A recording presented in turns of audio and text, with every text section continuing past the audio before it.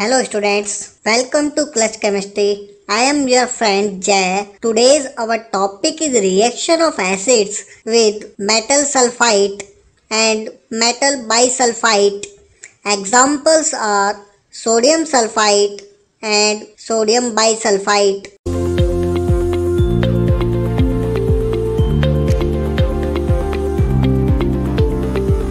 In generals, sodium sulfite and sodium bisulphide react with acid to form salt plus में water plus sulphur dioxide but in actually sulphides और bisulphide react करके acid के साथ salt plus में sulphurous acid देते हैं. Sulphurous acid का formula होता है H two S O three क्योंकि सल्फ्यूरस एसिड जो है वो अनस्टेबल होता है, इसलिए वो डिसोसिएट हो जाता है वाटर प्लस में सल्फ़र डाइऑक्साइड में. तो सल्फ़र डाइऑक्साइड की प्रेजेंस को हम क्या करते हैं?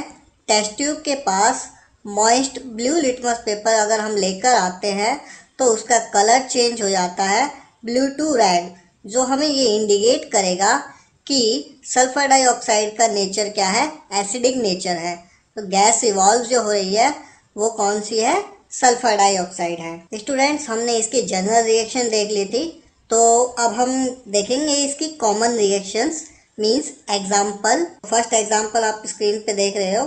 सोडियम सल्फाइड एक्वस मीडियम में रिएक्ट करता है नाइट्रिक एसिड के साथ तो बनाता है sodium nitrate plus water plus sulphur dioxide जैसे कि हमने जनरल रिएक्शन ऊपर देखी थी, वहाँ पे जो हमारा प्रोडक्ट होगा सॉल्ट प्लस में सल्फ्यूरस एसिड होगा, क्योंकि सल्फ्यूरस एसिड अनस्टेबल होता है इसलिए वो डिसोसिएट हो जाता है वाटर प्लस में सल्फ़र डाइऑक्साइड में।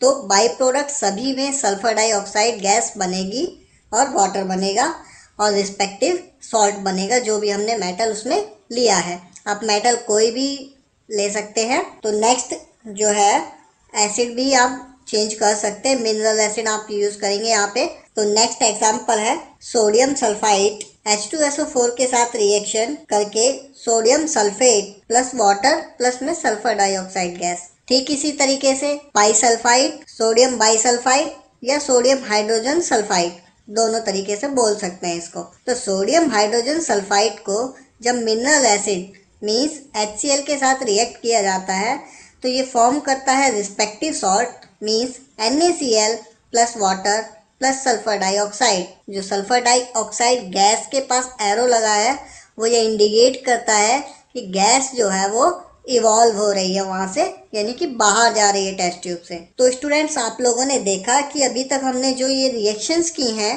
उन रिएक्शंस में क्या है कि ये जो सारी रिएक्शंस थी, ये एग्ज़ाम्पल थी डबल डिस्प्लेसमेंट रिएक्शंस का। तो आपने चैप्टर वन में आपको पढ़ाया गया है कि डबल डिस्प्लेसमेंट रिएक्शंस क्या होती हैं। एक बार मैं फिर से रिवाइज कर देता हूँ। Double displacement reactions are those reaction in which mutual exchange of radicals takes place is known as double displacement reaction इसमें क्या होता है कि ये दोनों तरीके के म्यूचुअल एक्सचेंज मींस आयंस का दोनों का एक दूसरे से एक्सचेंज होके सॉल्ट बनाता है। डबल डिस्प्लेसमेंट रिएक्शंस जो है वो तीन टाइप की होती हैं। Precipitation reaction gas formation and the neutralisation reaction students अब टाइम है आपके क्वेश्चंस का। तो आपके लिए क्वेश्चन ये है कि what will happen if lead sulphide is taken in a test tube and few ml of aqueous nitric acid is added to it. After that, litmus paper is placed at the mouth of the test tube.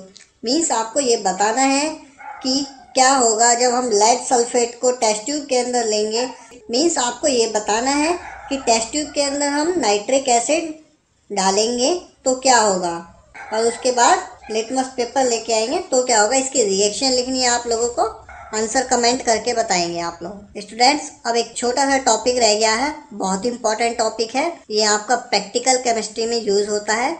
Reaction of acid with metal sulphide ये sulphide है और sulphide नहीं है। T वाला नहीं है D वाला यहाँ पे देख लीजिए आप। ठीक है? जनरल रिएक्शन क्या होती है?